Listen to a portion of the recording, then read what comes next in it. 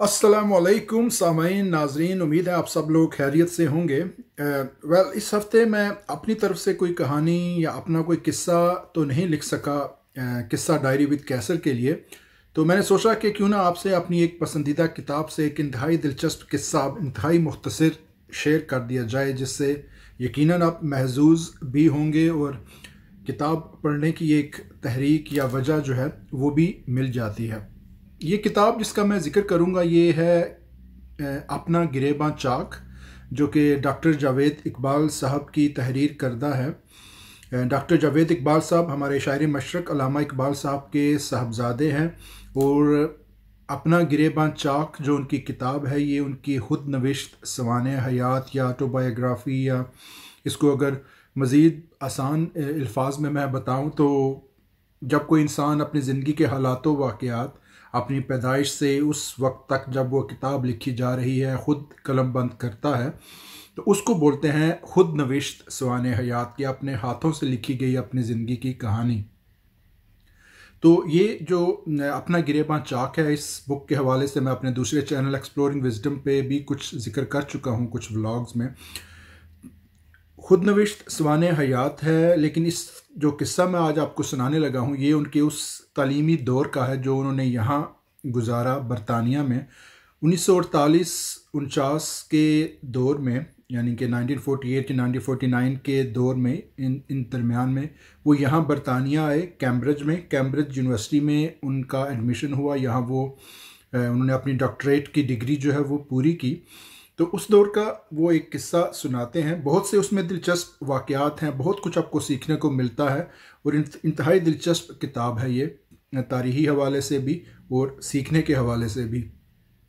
तो जैसे मैंने बताया कि उन्नीस सौ अड़तालीस में वो यहाँ आए और कुछ साल उनका तालीमी दौर ये जारी रहा और जहन में रखिएगा कि ये वो दौर था जब जंग अजीम जो वर्ल्ड वार थी वो अभी हालिया दिनों में वहाँ पे दुनिया में वो ख़त्म हुई थी और दुनिया भर में जो खुराक थी, खाने पीने की अशिया जो खुर्दो नोश की अशिया होती हैं, उनकी किल्लत थी। तो बड़ी मुश्किल से ये चीज़ें मिला करती थी और लोग बड़ी एहतियात से इस्तेमाल किया करते थे।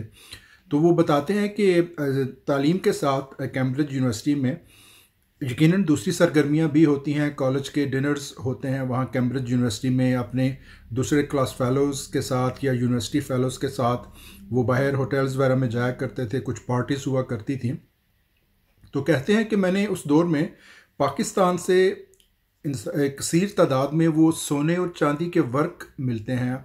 आपने देखा होगा पाकिस्तान, इंडिया में, इवन बांग्लादेश में भी वो खाने के ऊपर, जैसे मिठाइयों के ऊपर वो चांदी के वर्क लगे होते हैं, जो हम खाने पे लिखाते, लगाते हैं, मीठे पे। इस तरह सोने के वर्क भी होते हैं। कहने को तो वो सोने, चांदी के वर्क होते हैं, लेकिन बड़ी मुनासब कीमत पे, सस्ते दामों वो मिल जाते हैं। तो वो उन्होंने पाकिस्तान से वो मंगवा लिए कसीर तादाद में। तो कहते हैं कि अपनी जब निजी महफ़लों में मैं मशरूबात और दीगर खानों पे वो मैं सोने या चांदी के वर्क लगा के अपने दोस्त अहबाब को दिया करता था तो वो बड़े हैरान और परेशान होते थे कि खुराक की किल्लत है और ये साहब जो है, ये हमें सोना और चांदी खाने को देते हैं क्योंकि यहाँ इतना ट्रेंड नहीं है सोने और चांदी के वर्क का और उस ज़माने में तो बिल्कुल भी नहीं होगा। तो वो कहते हैं कि पहले मुझे वो जावेद बुलाया करते थे। जावेद नाम है तो यहाँ पे दाल को डी बुलाया जाता है। तो जावेद कहते थे तो फिर उन्होंने मुझे प्रिंस डेविड बुलाना शुरू कर दिया जब से मैंने उन्हें सोने और चांदी के वर्क जो है वो खानों पे लगा के खिलाना शुरू किया। तो कहते हैं कि एक होटल था जहाँ हम जाके दोस्त अहबाब बैठा करते थे। उस हत होटल की जो खातून मालिका थी वो एक अंग्रेज़ खातून थी, वेलिश थी शायद। तो वो उम्र सीधा थी तो उनको गैंठिए का मर्ज़ था। तो गैंठिए का मर्ज़ की तशीस हुई जब वो डॉक्टर के पास जाती थी। तो डॉक्टर ने उनको बताया कि आपको इसके इलाज के लिए कैल्शियम ऑफ़ गोल्ड एक दवाई होती है, उसके इंजेक्शन लगवाना पड़ेंगे, कैल्शियम ऑफ़ गोल्ड होता है। तो यहाँ पे बरतानिया में वैसे तो इलाज फ्री होता है, लेकिन उस डॉक्टर ने बताया कि कैल्शियम ऑफ़ गोल्ड के जो इंजेक्शन हैं, ये नेशनल हेल्थ स्कीम में नहीं आते तो इसके लिए आपको अपनी जेब से पैसे अदा करने पड़ेंगे पे करना पड़ेगा तो फिर आपको ये इंजेक्शन जो है वो लगेंगे कैल्शियम ऑफ़ गोल्ड के और आपके गेंठिए का मर्ज़ जो है वो धीरे धीरे दूर हो जाएगा। तो वो उम्र सीधा खातून थी और उस उम्र में इंसान जो है वो काफ़ी कंजूस हो जाता है तो उन्होंने वो लगवाने से इनकार कर दिया कि मुझे नहीं चाहिए, मैं पे नहीं करूँगी। तो एक दिन जावेद साहब उनसे मिलने के लिए गए होटल में तो वो बता रही थी कि मिस्टर जावेद, मैंने सुना है कि आप लोगों को सोना और चांदी खाने को देते हैं तो मुझे डॉक्टर ने कैल्शियम ऑफ़ गोल्ड के इंजेक्शन लगवाने को बोला है मेरे गैंठिया के मर्ज़ के लिए तो वो तो मैं नहीं लगवा सकती। तो कहते हैं कि उसकी फरमाइश पे मैंने गोल्ड के, यानी कि सोने के चंद वर्क अपनी जेब से निकाल के चार पाँच वो जो वर्क होंगे, वो मैंने निकाल के उसको दिए।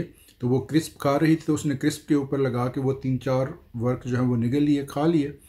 और हैरत अंगेज़ तौर पे अगले दिन जब वो अपने उस टेस्ट के लिए गई, गेंटिया के लिए, उसके टेस्ट हुआ हॉस्पिटल में, जिस डॉक्टर से वो इलाज करवा रही थी तो मर्ज़ का नामो निशान नहीं था, वो जब हैरत अंगेज़ तौर पर।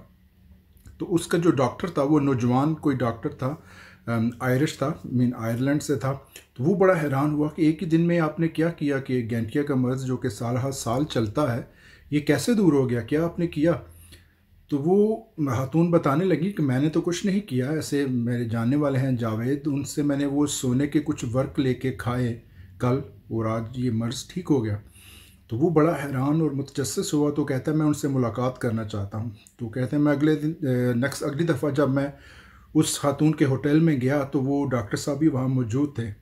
तो मुझे मिलने के लिए आए बड़े अदब एहतराम से वो मेरे सामने आके बैठ गए और कहने लगे, वो नौजवान डॉक्टर था और आयरिश था। तो कहते हैं कि आयरिश, वो बताते हैं जब साहब के आयरिश लोग जो हैं, वो थोड़े से तोहम परस्त और कुछ यानी कि भोले भाले से होते हैं, जादू टोने पे बड़ा बिलीव करते हैं।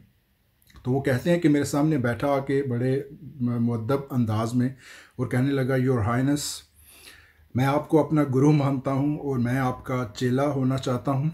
शायद आपकी मदद से ये सोने के जो वर्क हैं इनसे मैं गैंठिया का कोई हैरत अंगेज़ इलाज दुनिया को दे सकूँ और कोई इलाज गैंठिया का मैं दरियाफ्त कर सकूँ कि एक दिन आप खाएँ और अगले दिन आप सेहत याब हो जाएँ, गैंठिया का मर्ज़ दूर हो जाए।